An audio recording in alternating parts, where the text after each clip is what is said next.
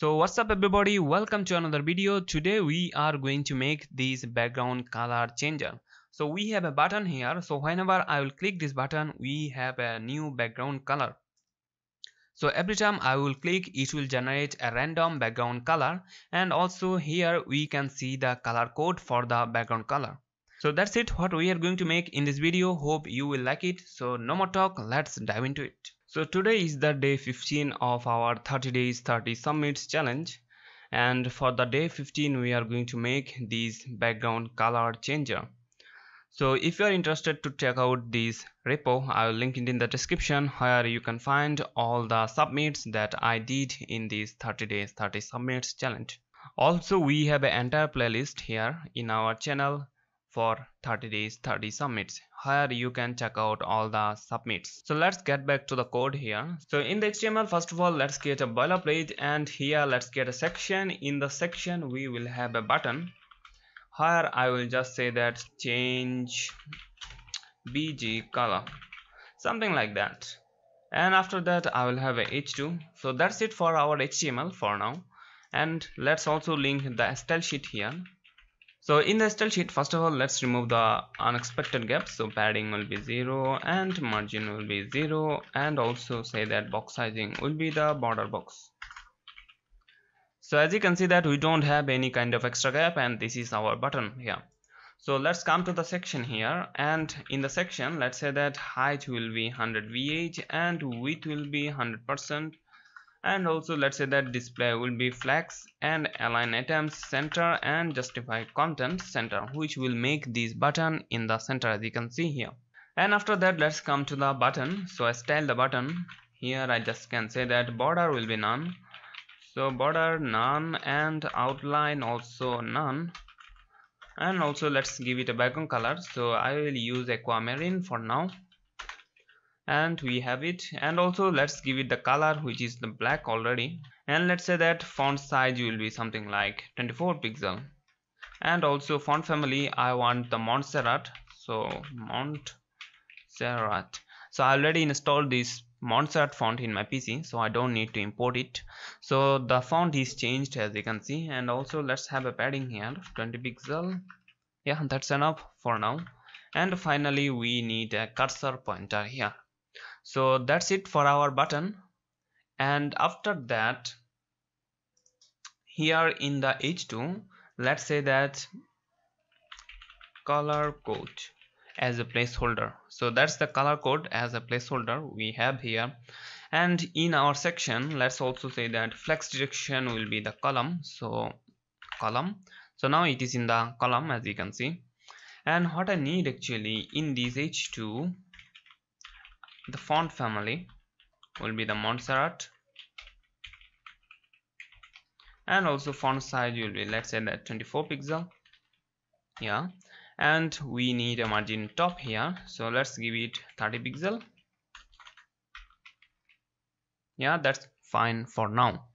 So that's it for our layout. So let's jump to the JS here. So before that let's actually link the script here so main.js so in our javascript first of all let's select those elements. So first of all say that constant for our button element. Button equals to document dot query selector. And I wanna just select the button. So I have only one button in my page. That's why I just select it with the button tag so constant here and the second one is the h2 element means this h1 sorry this h2 that I wanna select here. So for that I just can say that document dot query selector. So I have only one h2 in my page also. So just I can select it with the h2 tag. So after that actually let's select the section here. So I just can say that constant bg element. So that's the element means the section where I will change the background color. So document dot query selector and I can just select the section here. So I just selected all the necessary elements. So after that what I need actually I need to add a event listener in this button.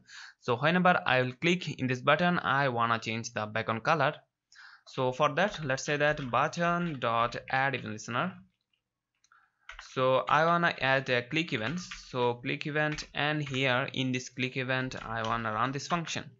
So in this callback function first of all let's have a variable which is the color.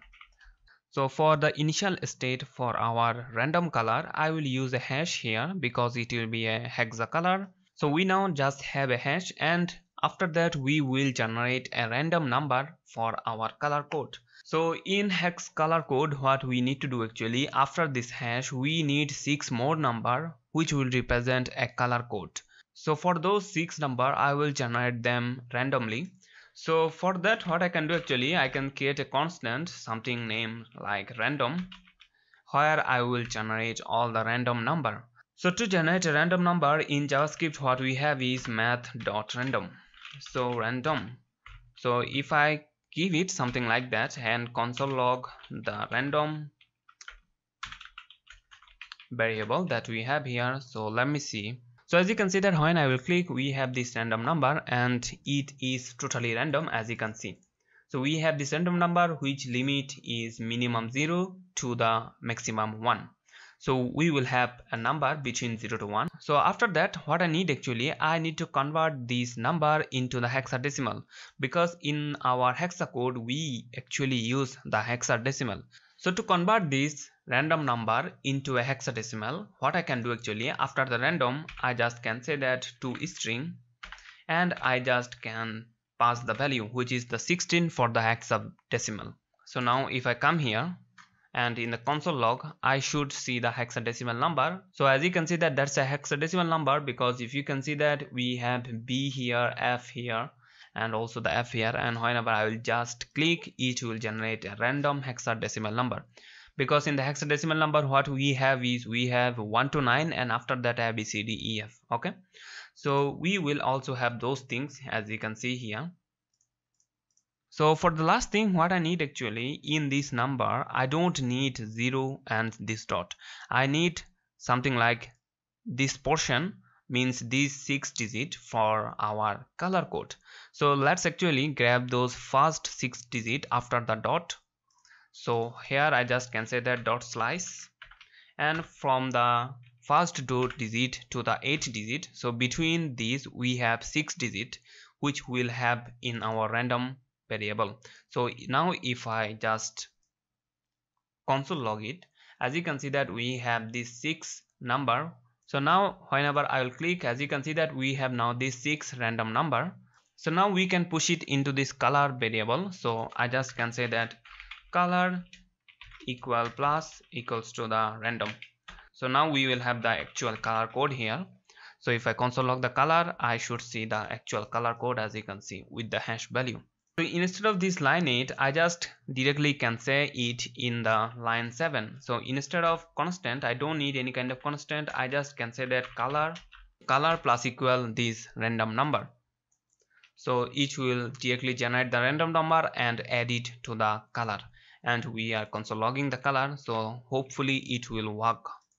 So as you can see that it's working. And final thing that I need actually I need to change the background color of this section so let's actually change this. So in our bg element i just can say that style dot background color. So background color not clip background color and the color will be the color variable. So now it should change the color of our background. As you can see that it's working perfectly fine. So the last thing is i want to show the number of our color code in this text so for that I just can say that h2 element dot inner text will be this color. So it should work. So now as you can see that we have this number of our this background color in our h2 so every time it will generate a random number and we will have the color code here so that's it for this video. I hope you liked this one. And if you do please give it a thumbs up and don't forget to subscribe the channel. I will see you in the next video. Till then bye bye. Kuda hafiz